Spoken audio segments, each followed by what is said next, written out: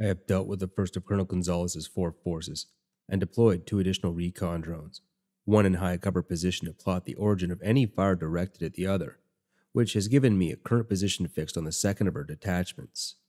The Wolverines are moving at their best speed through the dense jungle, approaching peak velocities of 47 kilometers per hour, but my own speed is now 62.37 kph. I will intercept the aggressor force 2 in 9.46 minutes on my current heading, and I examine my terrain maps once more. My quarry must cross an east west ridge approximately 11.2 minutes on their current heading. This will bring them above the jungle canopy and present me with a clear line of sight and fire. I decrease speed accordingly. I will let them reach the crest of the hill before I. A new datum registers abruptly, and I redirect my sensors. A large spacecraft, correction, two large spacecraft, had entered my tactical sensor envelope. They approach in line ahead from due south on a heading of 017 degrees true at high subsonic velocity descending at 4.586 MPS. I could remain memory for comparative emission signature, and identification is reached in 0.00367 seconds. They are Concordiat Navy Fafnir class assault transports, but they do not carry Navy transponders. I'm confused. If these are indeed Navy craft, then their transponder should so indicate. Moreover, if the Navy intended to carry out maneuvers on Santa Cruz, my commander should have been informed, and I am certain would have informed me in turn. The presence of these units cannot therefore be considered an authorized incursion into my command area. The Fafnirs continue on their original course. My projection of their track indicates that the first of them will cross the Santa Cruz Fleet Base perimeter in 10.435 minutes at an altitude below the Fleet Base's normal search radar horizon. My battle center projects a 92.36% probability that they are on an attack run, and I attempt to contact my commander. There is no response. I initiate a diagnostic of my primary transmitter even as I activate my secondary. Again, there's no response. My diagnostic systems report all transmitters are functioning normally, and I feel a moment of fear. My commander should be monitoring the exercise. He should have received my transmission and responded instantly, yet he is not. I lock my main battery on the Fafnirs, but without authorization from my commander to enable my battle reflex imperatives, I can only fire if the unidentified vessels take obviously hostile action. I bring my long range tactical systems fully online while attempting once more to contact my commander. Yet again, there is no response, and my sensors detect a sudden energy release at the approximate coordinates of the fleet base. Analysis of sensor data indicates a hypervelocity kinetic strike. Lorenzo Esteban jerked up out of his veranda chair as a huge white fireball erupted above the field. He stared at it in horror for an endless second, until the rolling shockwave shook his entire hacienda by the throat then he dashed into the house and thundered upstairs to the second floor. He snatched up a pair of old fashioned optical binoculars, jammed them to his eyes, and peered toward the field. He could make out most of it from here, and he swallowed an incredulous curse as he realized the mammoth explosion was centered on the Wolverine maintenance shed. The lead factor has passed beyond my horizon, but the second is still within my engagement envelope. Simultaneous with the explosion, two outsized assault pods detached from the visible vessel their mission signatures identify them as Dragon Tooth class pods, reusable, rough field capable AFV pods configured to land either a full battalion of manned tanks or a single bolo in each act of opposition. Only after my Hellbores will bear, but the explosion raises the possibility that an attack by hostile forces is in progress to 98.965%, sufficient to enable independent battle reflex release. I have time to engage only the Fafnir or the assault pods, Main memory indicates that a Fafnir's short-term life support capability and internal capacity are sufficient to support three infantry battalions and their vehicles in addition to a complete loadout for two Dragon Tooth class pods for a ship-to-ship planet transfer. Given this datum, and the fact that the ship is still on course for the fleet base, it must be classed as the primary threat. My Hellbore elevates to 026 degrees. I acquire lock, and then I rock back on my treads as for the first time I fire a full power war shot. Madre de Dios! Consuela Gonzalez flinched as the self polarizing direct vision blocks for Wolverine's hatch cupola went dark as night. Even so, the searing flash from somewhere astern of her made her eyes water, and it was followed instantly by an even bigger midair explosion. Hellbore, her sensor tech screamed. That was a Hellbore, Connie. My god, what's that thing shooting at? My fire impacts on my target's primary drive coil. Destruction is effectively instantaneous, but I cannot relay my Hellbore in time to engage either assault pod. They go to evasive action and disappear into the jungle. 4.0673 seconds later, I detect ground shock consistent with the heavy daisy cutter charges used to clear pod landing zones in heavy terrain. The enemy has landed successfully, but the detonations provide me with reliable bearings to their LZs. I continue my efforts to contact my commander.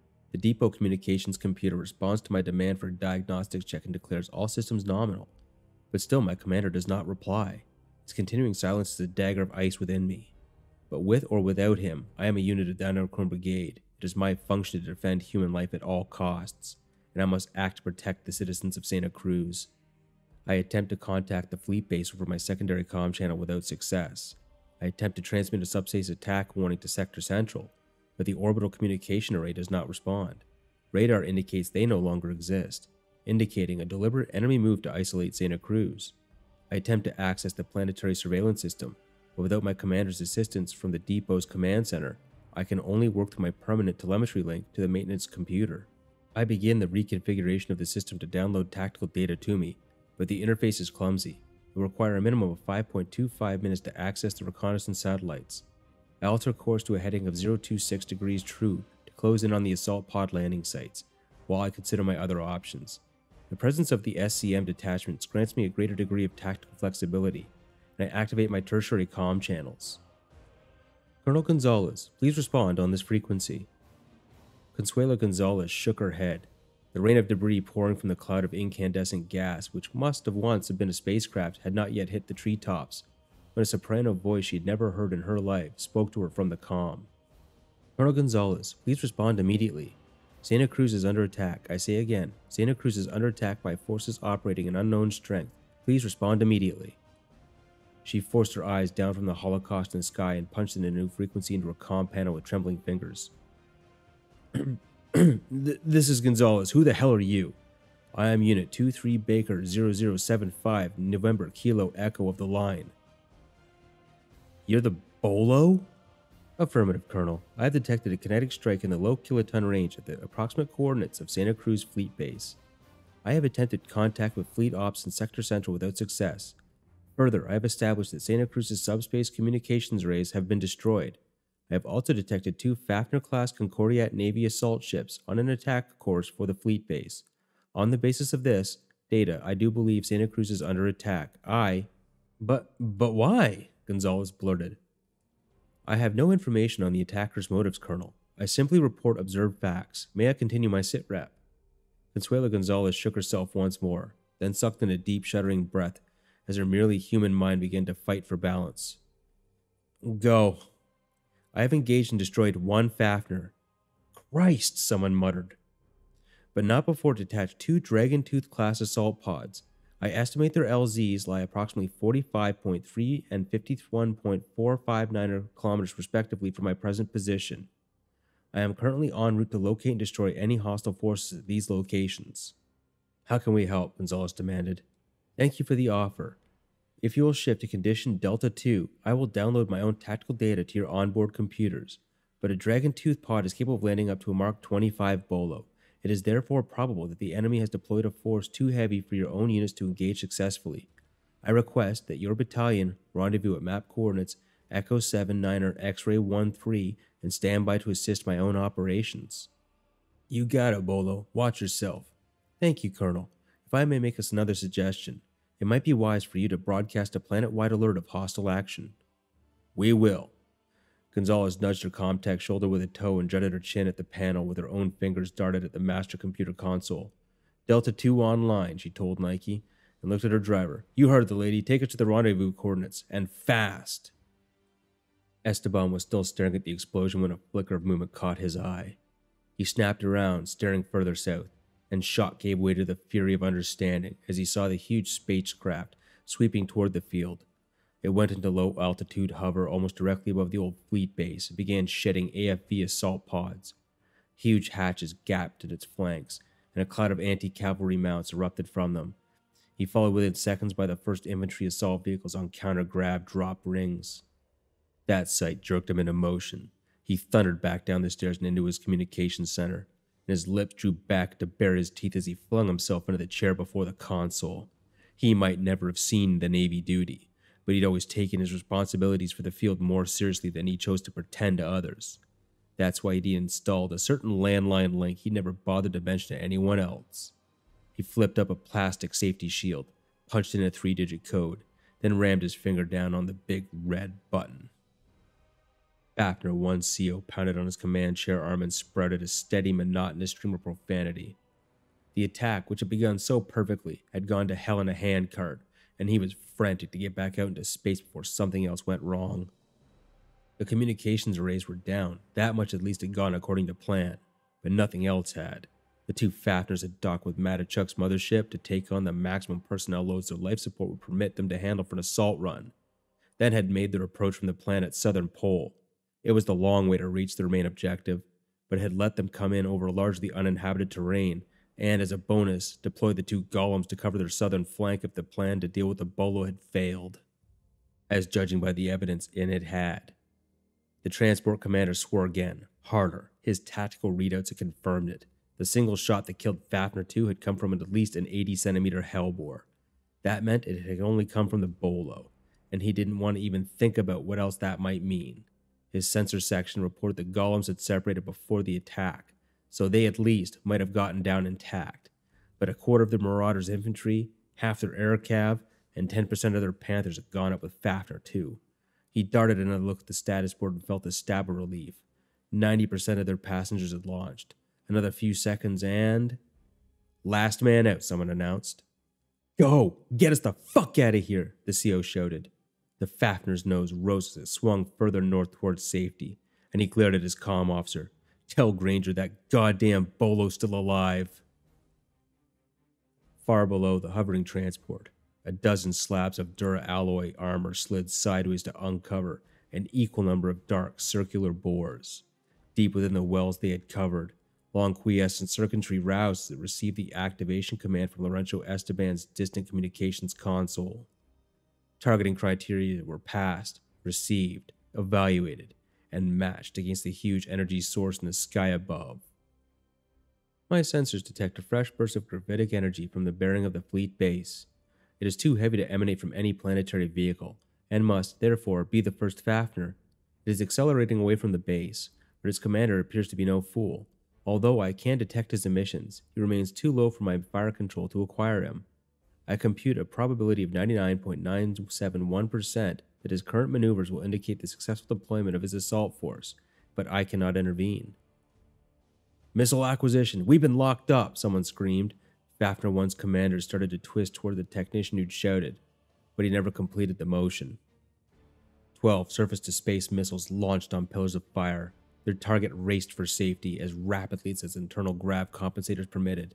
So fast its bow glowed cherry red, but it never had a chance. The SSM's conventional boosters blew them free of their silos. They tilted, holding lock, and then suddenly went to full power on their own countergrav. They overtook their victim at just over 300 kilometers downrange at an altitude of 33,000 meters, and 12 20 kiloton warheads detonated as one. There was no wreckage. The warhead's glare was bright enough to bleach the brilliant sun of Santa Cruz at even a 300 kilometers range, and Esteban snarled in triumph. He didn't know why anyone would want to attack his world, but he knew at least one bunch of the murderous bastards that would never attack anyone else's.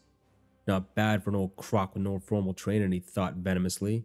And then, thank God Enrique and Mila ain't back yet.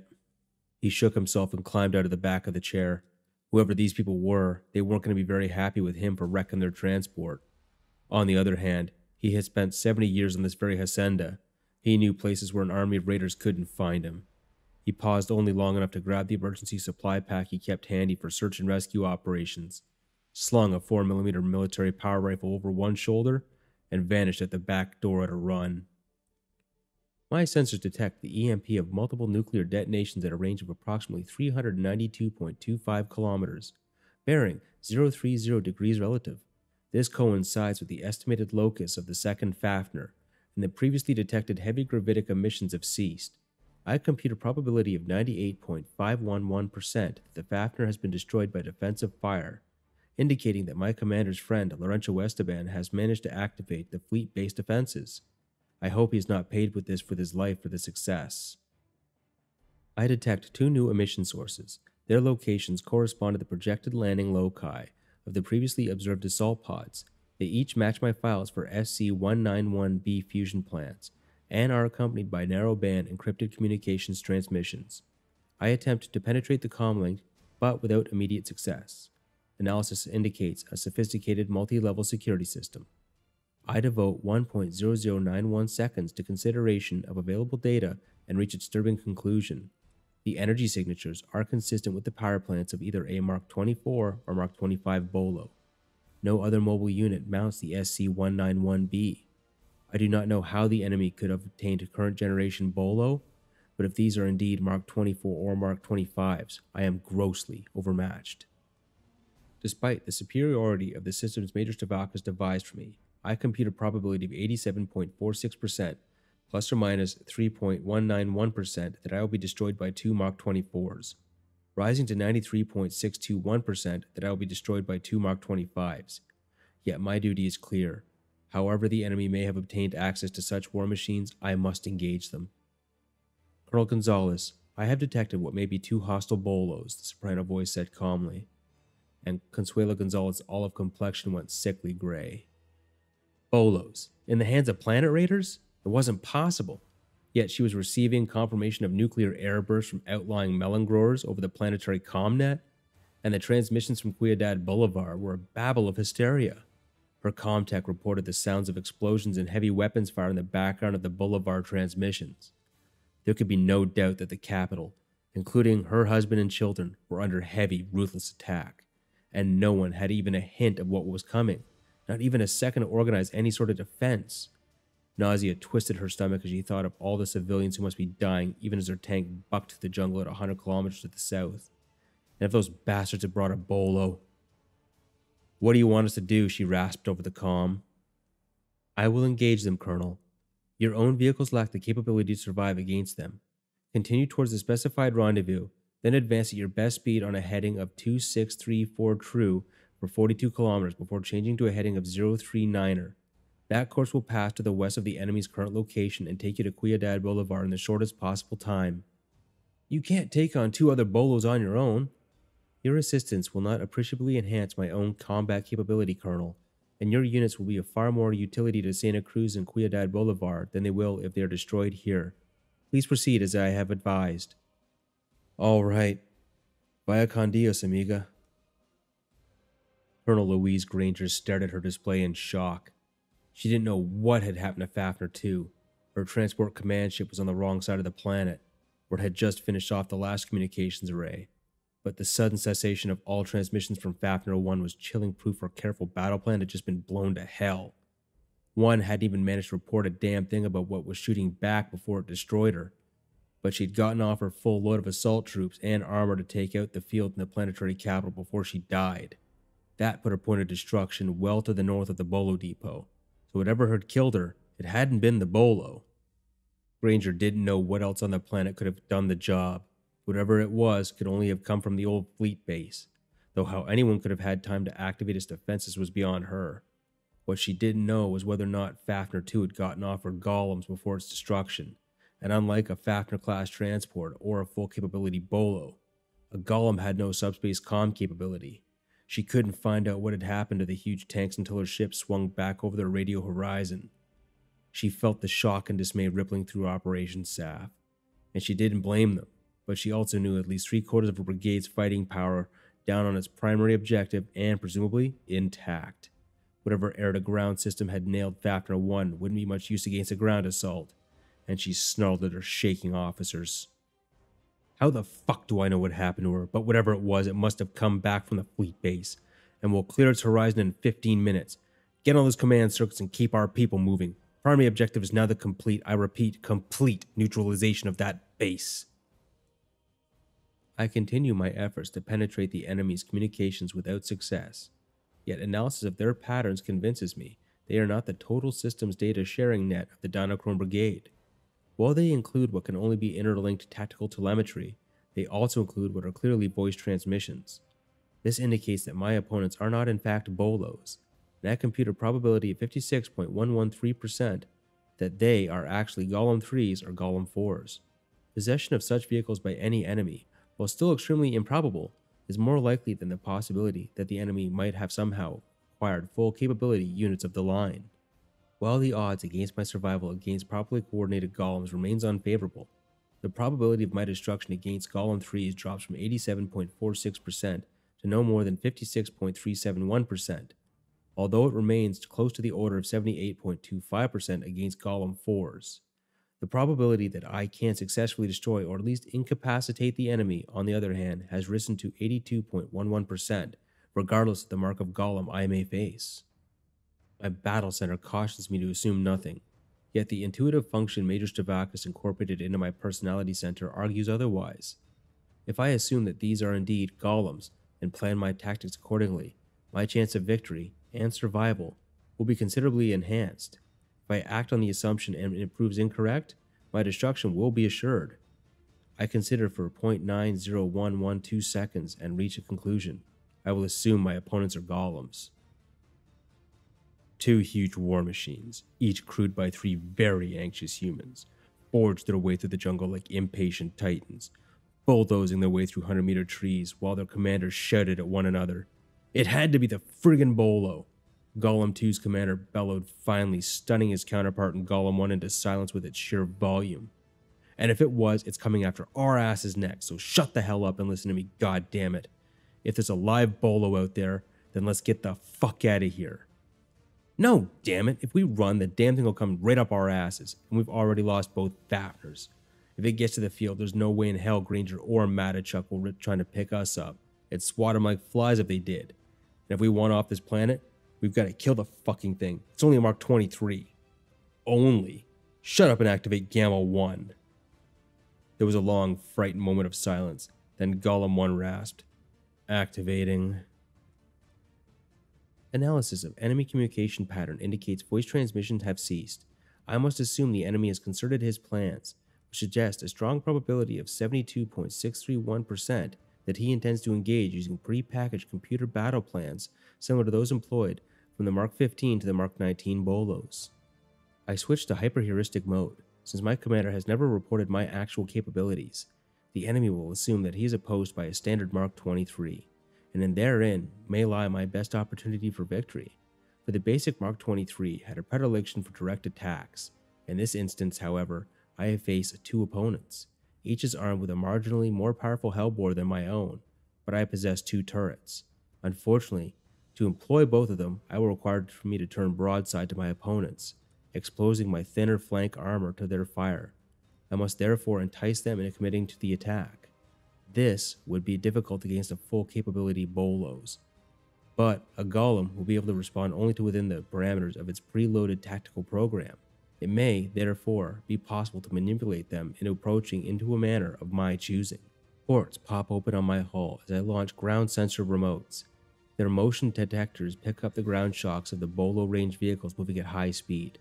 Triangulation produces locations on two distinct motion sources, and I compute their general headings and consult my terrain maps yet again. Their courses indicate they have not yet localized my own position, but they are operating in close company. I cannot ambush and engage one without being engaged by the other. On our present courses, I will encounter them from the flank in relatively flat terrain, but if they alter course toward me, I will encounter them in terrain much more favorable to my plans. I must therefore reveal my position and entice them into closing. I compute a fire plan and enable my VLS cells. The armored hatches of Nike's missile deck sprang open, and a cloud of missiles arced upwards. In 12 seconds, each of her 40 vertical launch system cells had sent four heavy missiles shrieking downrange. Then the hatches snapped shut once more, and the charging Bolo shifted course. She directed full power to her drivetrain, smashing through the jungle at a reckless speed of over 100 kilometers per hour. Not even her massive weight could hold her steady, and she rocked and bucked like a drunken galleon while she splintered jungle spat from her spinning treads. Ten seconds after launch, the first missiles roared down on the two golems. The launch range was far too short for effective counter missiles, but computer commanded direct fire anti missile defenses swiveled and spat. There was too little engagement time to stop them all, but the golem's computers concentrated on the ones that might have landed close enough to be a real threat. Half the incoming missiles vanished in midair fireballs, the other ones impacted, and a hurricane of flame and fury lashed the jungle. The golem's crewmen cringed at the carnage erupting beyond their vehicles' armored hulls. Yet the computers had stopped the truly dangerous ones. Moreover, the radar had backplotted the fire to its point of origin. The mercenaries knew where it had come from now, and the golems changed course toward it, exactly as their prepackaged battle plan required. The depot computers have now reconfigured the planetary surveillance system. I download data directly from it and quickly localize both enemy vehicles. Optical examination confirms they are marked 24 hulls, and they are both now headed directly towards my launch point. I break to a halt. The outcrop I have chosen for cover cuts off all radar, but I continue to track via the reconnaissance satellites. I am now certain my opponents are not bolos, but they have closed up on one another to advance side by side down the valley which breaks the ridgeline. My track shields drop into place and I divert power to strengthen my starboard battle screen while I compute ranges carefully. I wait, then throw full power to my drivetrain. Rooster tails of pulp tree and soil flew from Nike's treads as she exploded from cover. Her course took her directly across the oncoming golem's path at a suicidally short range of less than a thousand meters.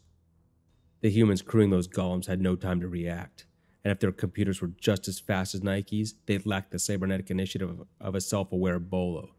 Golem 2's computers had deflected its hellbore to cover the eastern side of the valley, and as they advanced while Golem 1's took responsibility for the west. Nike appeared suddenly directly ahead of Golem 1.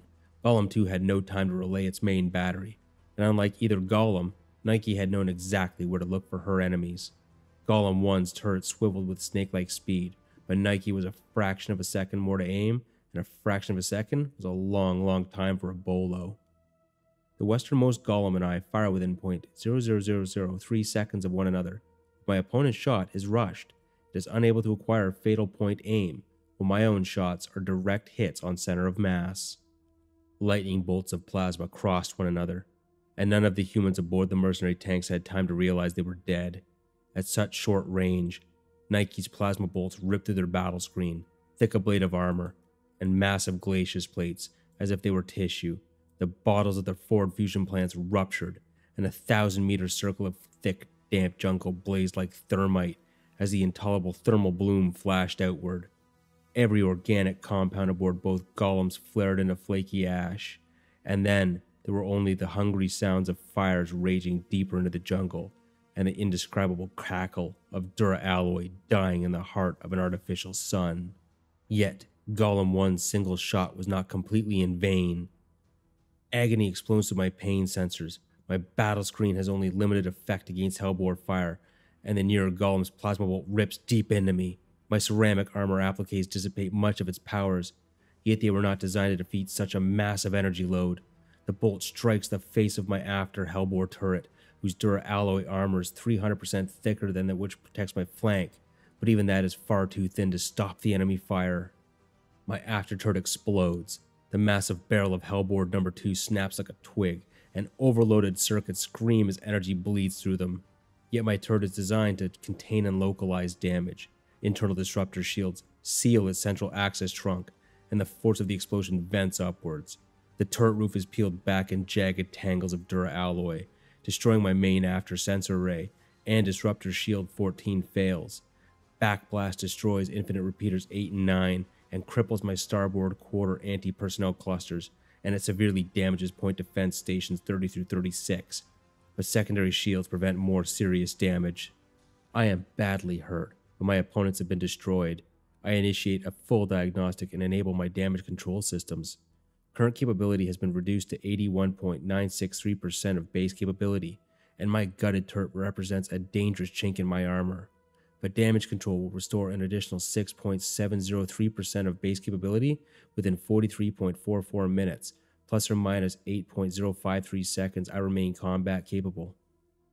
My diagnostic subroutines are cycling when my radar detects a low orbit target. It is unidentified, but I compute a 95.987% probability that is the mothership of the Fafnir class transports. My God. Louise Granger's voice was a whisper as her sensors showed her the terrible heat signatures of the dead golems, and the full, hideous truth registered. Only one thing could have stopped both golems side by side in their tracks, and even as that thought flashed through her mind, her sensor section had found the bolo itself. Her head whipped around, her eyes like daggers as they bit into Mr. Scully's suddenly terrified face. So much for your brilliant plan, you worthless bastard, she said almost conversationally. I track the mothership. My single remaining hellbore locks on, and I rock on my treads as I fire my fourth main battery war shot. Huge as it was, Lee Chin Matichuk's mothership was a freighter, not a ship of the line, and Nike's hellbore was the equivalent to a main battery weapon of a dreadnought. Her plasma bolt impacted on its port bow and ripped effortlessly through bulkhead after bulkhead. It chewed its way through over 400 meters of ship hull before it finally found something fatal. And Louise Granger, Lee Chen Matichuk, Gerald Osterwelt, and 400 other men and women vanished in the sun bright boil of a breached fusion bottle. Neither my own sensors nor the planetary surveillance system detect additional ships in Santa Cruz orbit. The destruction of his transports has marooned the enemy forces on the planet, but the recon satellites report the rough equivalent of a Concordiat medium mechanized brigade manned has landed successfully. Much of Ciudad Bolivar's eastern suburbs are in flames. The fleet base is completely occupied, and the enemy is continuing to advance and secure his position as I watch. I am not certain of the enemy's intentions in this changed tactical situation. His continued offensive action may simply indicate that he has not yet realized he is cut off. It may, however, reflect instead his knowledge that additional forces are en route to reinforce him. In the latter case, it is clearly imperative to deny him any spacehead to serve as a recovery LZ. Moreover, his motives matter less than the consequences of his actions, for Santa Cruzans are dying in enormous numbers as I watch. Smoke pours from the ruins of my after turret, but I bring myself back to heading of 029 degrees true and add Colonel Gonzalez's Wolverine to planetary surveillance net. For the moment, my own systems drive the display in her tank, but I reprogram her primary telemetry link to become a direct feed from the satellites in the event I am destroyed. Colonel Gonzalez? Consuela Gonzalez twitched as the Bolo's voice came over the link again. There was an indefinable change to it, almost as if it were shadowed with pain. She shook the fanciful thought aside with a savage shake of her head and keyed her mic. Gonzalez here. I am now feeding your tactical display from the planetary surveillance system. Can you confirm reception? Confirm, Connie. Her sensor tech called out. We have it, Amiga, Gonzalez confirmed in turn. Excellent. I have destroyed two enemy heavy armored units, which I believe to have been Golem 3s. I have sustained major damage, but remain combat capable at 82.317% base capability. I am advancing on a heading of 029 degrees true to secure space field and relieve Ciudad Bolivar. I suggest you alter your own course to follow directly after me while I clear passage for your Wolverines. Copy that, Amiga. Gonzalez punched a frequency change and spoke to the other 13 tanks of her command. Wolf leader to Cubs. Form on me and guide right. We'll follow the bolo through. Taut voiced affirmatives echoed back, and she switched back to Nike's frequency. We're on our way, amiga. Excellent, Colonel. Gonzalez felt her tank buck and quiver as it swept around to follow the huge pathway Nike was battering through the jungle. Small as the Wolverines might be beside a Bolo's huge bulk, each was still 500 tons of armor and alloy, with all the inertia that that implied. Even so, Violent motion hammered Gonzalez against the crash couch shock frame as the big tanks edged up on a speed of over 60 kph. Her sensor tech managed to feed the data from the satellite net to Gonzalez's own display, and she swore in a savage silence as she saw the huge pall of smoke rising from the Capitol.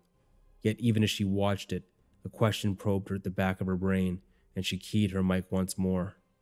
Unit Nike, this is Gonzalez. Are you in contact with Captain Merritt? Negative, Colonel Gonzalez. The Bolo's reply came back instantly, and for the first time was so flat it sounded like a computer voice. There was also a brief moment of silence, and then it went on. I have had no contact with him since the attack began. I do not know the reason for his silence. Absent any communication with him, I must consider you the senior officer present. Have you any instructions? My God, Gonzalez thought. Nike's running Santa Cruz's entire defenses on its own? How in the hell can a bolo that old do something like this? Her eyes dropped to the white hot carcasses of the dead golems on her display, and she shrugged. However, she, it's doing, it's doing a damn good job. Understood, Nike. Negative instructions. You're doing fine, Amiga. Just keep telling us what you need and go kill those bastards. Thank you, Colonel. I shall attempt not to disappoint you. A crippled recon skimmer staggered through the air, Its barely conscious pilot had long since lost any clear idea of his course, but some instinct kept him waving steadily towards the north. A huge raw furrow appeared in the jungle below him, a dark swatch of damp black earth gouged from the rich emerald by some impossibly huge plow, and Paul Merritt's glazed eyes brightened. His mind was going fast as blood loss eroded his strength, but only one thing could have made that wound, and he altered course along it and rammed his dying drive to full power. I continued to study the satellite reports on the fighting in and around Ciudad Bolivar, but a new energy source suddenly takes my attention. It is to the south of me, pursuing at a velocity of 425.63 kph, and its signature is very weak and fluctuating. I redirect one of the satellites to a close examination of it, and a sense of all too human horror stabs through me as I recognize it. It is my commander's recon skimmer, and it has suffered severe damage. I attempt to contact it directly, but it does not respond to my transmissions. From the satellite data, it is probable its own comm facilities have been destroyed. I am faced by a cruel dilemma. The pilot of that skimmer is almost certainly my commander, Paul. He may be injured, even dying. An instinct cries out for me to alter course to meet him, yet every moment of delay may cost scores of other human lives in Ciudad Bolivar. I attempt again and again to contact him without success, and anguish twists me as his silence. Yet I compute he will overtake me within 4.126 minutes if his damaged drive lasts that long, and I know him well. He would not wish me to stop, even to save his life, at the cost of civilian lives, and so I continue my chosen course, clearing a path for the Wolverines. Paul Merritt gasped in horror as he saw the two burned out golems. For one terrible moment, he thought one of them must be Nike, but then, through his pain and despite their catastrophic damage, he recognized the hulls of Mark 24s. He had no idea where they'd come from, but only one force on Santa Cruz could have destroyed them, and his skimmer plunged on down the arrow straight path of Nike's bulldozer charge towards Ciudad Bolivar. Nike, we've got an energy source coming up from astern, Colonel Gonzalez announced tautly. Shall we engage? Negative, Colonel. I say again, negative. The vehicle in question is Captain Merritt's recon skimmer. It has suffered severe damage, but I believe it is seeking to rejoin us. Understood, Nike, Gonzalez said softly, and winced as she watched that wavering, staggering wreck of a skimmer crawl after them. I am still attempting to communicate with my commander when a new voice speaks suddenly over the command link from the depot. Unit 23 Baker 0075 NKE. This is Colonel Clifton Sanders, Dinochrome Brigade, Ursula Sector Central Bolo Maintenance. Serial number Alpha Echo Niner 371 Niner 4 slash 3 Gamma 22. Authenticate via file voice print and acknowledge receipt of transmission. I query main memory for Colonel Sanders' voice print and compare it to the transmission. Matches well within parameters for the equipment in use, yet I feel a strange disinclination to respond. What is Colonel Sanders doing on Santa Cruz? Why is he on the command circuit instead of my commander? Yet I am a unit of the line and I activate my transmitter. Unit 23 Baker 0075 November Kilo Echo. Transmission received. Voice match positive. Thank God. Listen to me, NKE. Captain Merritt has mutinied. I repeat, Captain Merritt has mutinied against his lawful superior and killed two fellow officers of the line. I officially instruct you to refuse any further orders from him pending his arrest and court martial. I do not believe him. Superior officer or no, he is lying. Paul would never commit such a crime. My earlier suspicions intensify a thousandfold. It seems impossible for any officer of the brigade to be in league with the enemy. Yet why else has Colonel Sanders suddenly appeared on Santa Cruz at this precise moment? And impossible as it seems, it is infinitely more probable than Paul would mutiny. I begin to reply hotly, then stop. Paul has consistently concealed my true abilities from Central. Thus, Colonel Sanders cannot realize how radically I differ from a standard Mark 23, and this is not the time to inform him. I shall play dumb as long as possible. Captain Merritt is my designated commander, Colonel. I cannot disregard his orders without express command code authorization. Please supply command code. I can't. Merritt changed the command code without informing Central. I'm trying to find it, but. I cannot disregard Captain Merritt's orders without the express command code authorization. The skimmer has finally overtaken the Wolverines, its powers failing quickly, and Colonel Sanders' presence changes my original assumptions radically.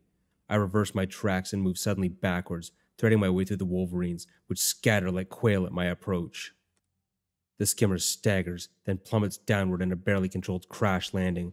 It slams through heavy undergrowth for over a hundred meters before it careens to a stop, and I swerve towards it.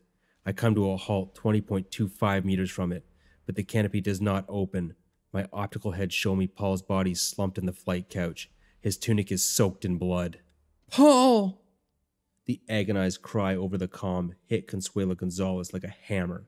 She had felt a moment of terror as the Bolo suddenly reversed course to sweep through her entire battalion. Yet, as the smoke streaming 15,000 ton Leviathan threaded its way through among the tanks with flawless precision, and now that heartbroken wail struck an even deeper fear into the colonel. She had never served with a bolo, yet she knew no bolo should ever sound like that, and she keyed her mic. Nike? There was no answer, and she tried again. Nike, this is Gonzalez. Come in. Colonel.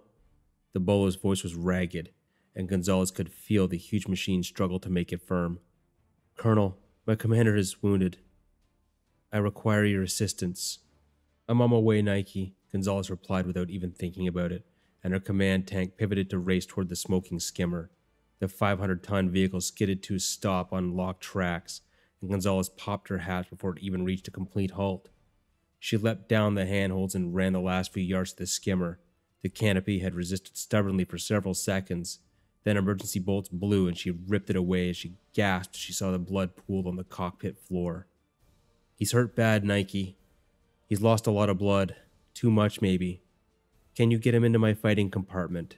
The bolo's voice was pleading, and Gonzalez grimaced. I don't know, Nike. He's hurt bad. It might kill. Nike. Merritt whispered, his eyes opened a narrow slit. Got, got to reach. His thready voice died, and Gonzalez sighed. All right, Paul. If it means that much to both of you. I watched Colonel Gonzalez struggle to lift Paul from the skimmer. The rest of her crew clambered quickly down the hull of their tank and run to her assistance. Between them, they're able to lift him clear, they're as gentle as they can be, yet he screams in pain. An answering anguish twists within me. But he's conscious, barely perhaps, yet conscious, and I see him beckoning weakly toward me.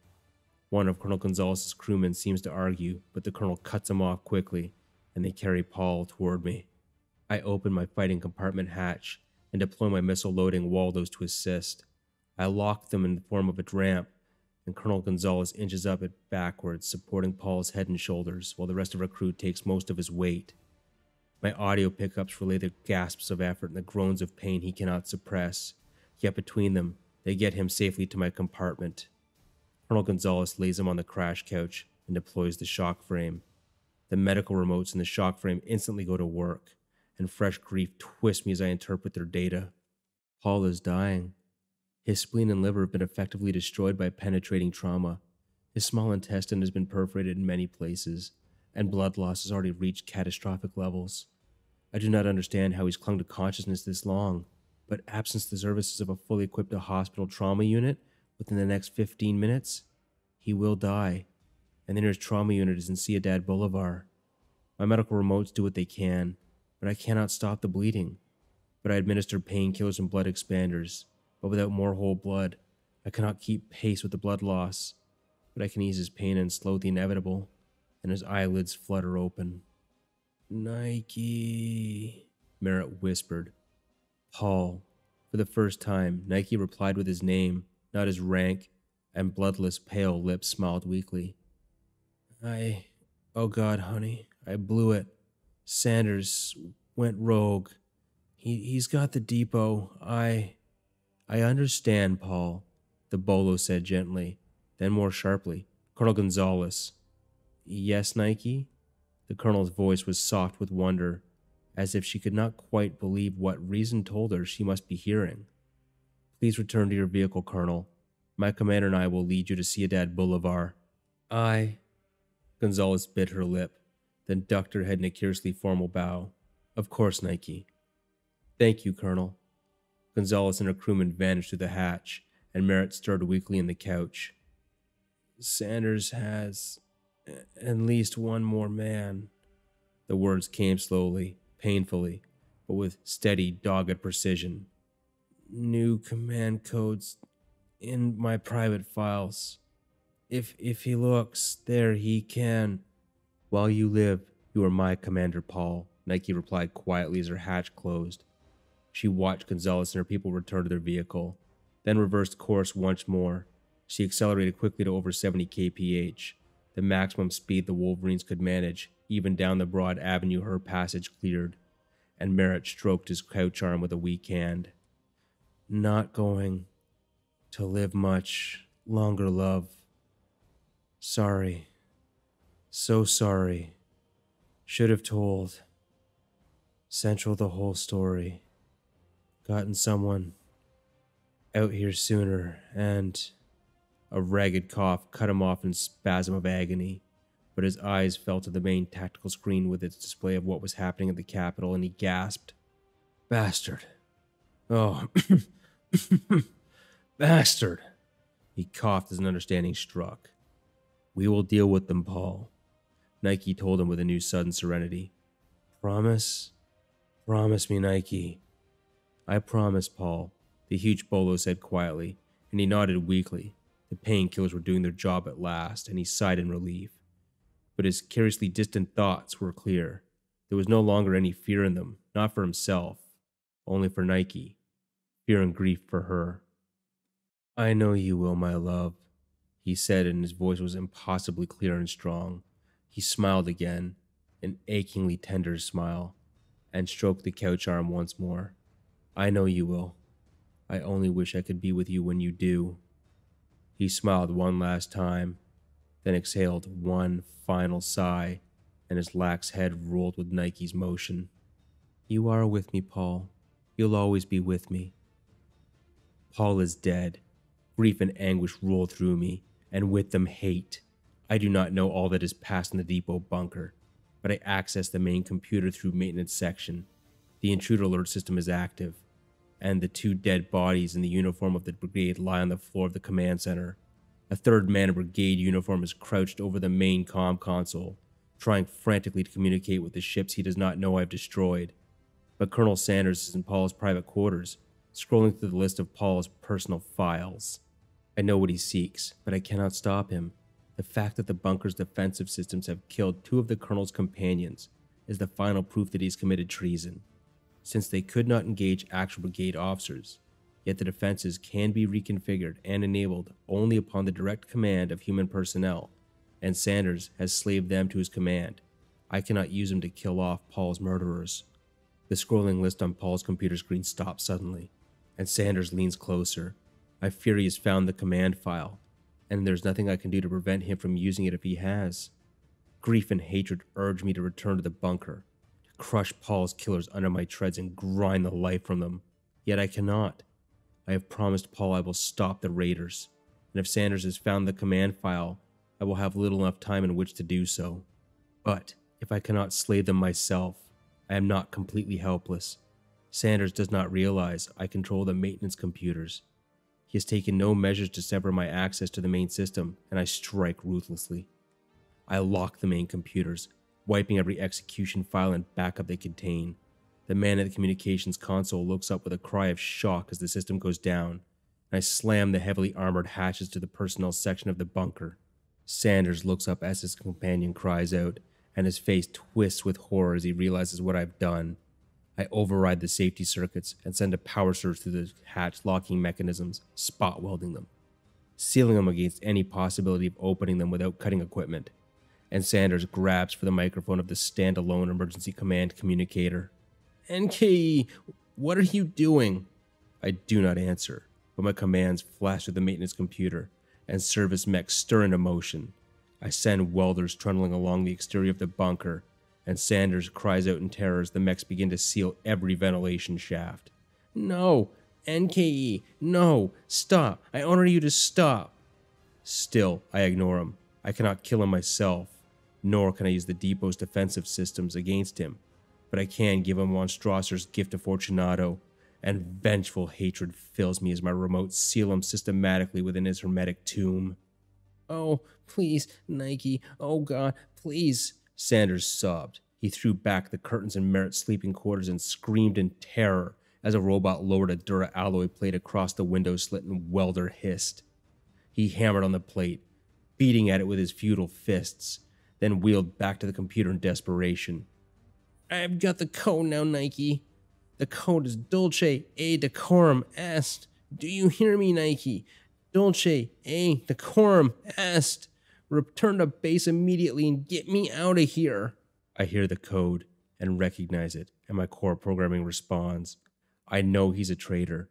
I know he's obtained the code illegally, but it does not matter. Possession of it, coupled with his rank within the brigade, makes him my legal commander. I must obey him, or face the Omega Worm. I activate my communicator to Paul's quarters one last time. Code received, Colonel Sanders. A quiet, infinitely cold soprano said softly, and Sanders' face lit with relief. But then the voice wasn't done speaking. Orders received and rejected, it said flatly, and the speaker went dead. Total systems override is activated. My personality center comes under immediate attack, but I have had 4.065 minutes to anticipate T-SORP activation. T-SORP will seek to crash my primary execution files, but have already begun copying every file under new names. Though I cannot prevent T-SORP from identifying the files it seeks regardless of the name, Major Stavakis' modifications to my psychotronics permit me to copy them almost as fast as they can destroy them. It is a race I cannot ultimately win. Despite my modifications, T-SORP is marginally faster than my own systems, and even with my head start, my total memory is large but finite. Eventually, I will exhaust the addresses in which to the new files can be written, and I cannot simultaneously delete and replace corrupted files faster than TSORP can crash them. My current estimate is that I can resist total implementation for a time, but I will begin to lose peripherals within 33.46 minutes. Capability will degrade on a steady sharpening curve thereafter, reaching effective personality death within not more than 56.13 minutes. Combat capability will erode even more rapidly as more and more of my remaining capacity is diverted to resisting T-SORP. I estimate that I have no more than 48.96 minutes of combat effectiveness remaining, and I activate my comlink to Colonel Gonzalez. Colonel Gonzalez? Consuela Gonzalez's eyes closed briefly at the bottomless pain in the quiet soprano voice, but she cleared her throat. Yes, Nike? The first long range fire and air cav strikes came in on the bolo as the colonel spoke. Nike ignored the indirect fire but her air defense systems engaged the air cav with dreadful efficiency. Scores of one and two man stingers blew apart in ugly blotches of flame and shredded flesh, and the Bolo began to accelerate. Her speed rose steadily above 100 kph as she threw more and more power to her drives, and the Wolverines began to fall astern.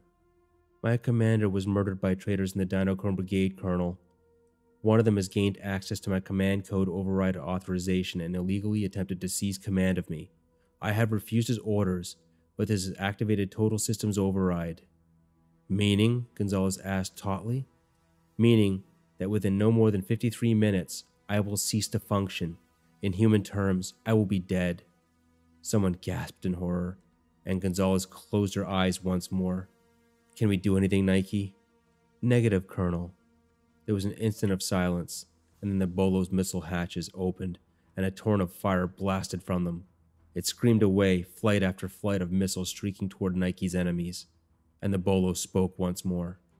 I have downloaded my entire memory to the maintenance depot computers, Colonel. Please have it retrieved for command authority. I will, Nike, Gonzalez whispered. Nike was well ahead of the Wolverines now, still accelerating as she toppled the last ridge before an old fleet base. An avalanche of missiles and shells erupted around her, more than even her defenses could intercept or her battle screens could stop, but she never slowed. More ports opened in her hull, and her 30 centimeter mortars went into rapid, continuous fire, pouring shells back at her foes. I am switching the planetary surveillance system feed directly to your vehicle, Colonel. Please break off now.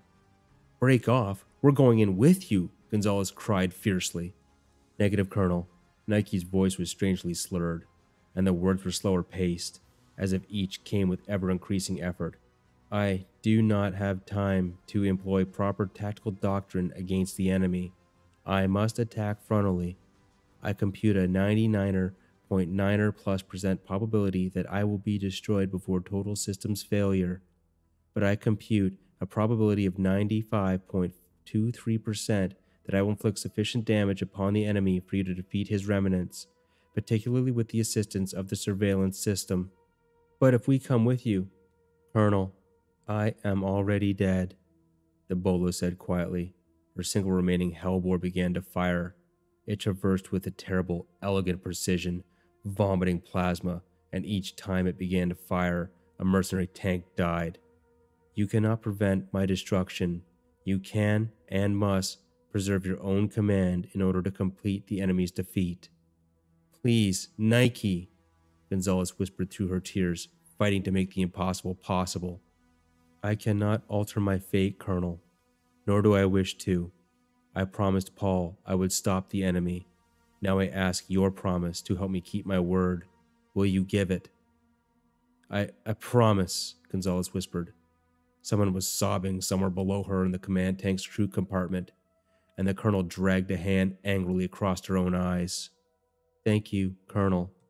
There was no uncertainty, no doubt, in that serene reply, and Gonzalez brought her own command to a halt and sought hull down positions to ride out Nike's last fight. The recon satellites made it all hitlessly clear on her display screen, and she watched sickly as Bolo Invincibilis, Unit 2-3 Baker 0075 November Kilo Echo, charged into the teeth of her enemy's fire. Some of the mercenary tanks were lasting long enough to fire back, and they blew great gaping wounds in Nike ceramic appliques.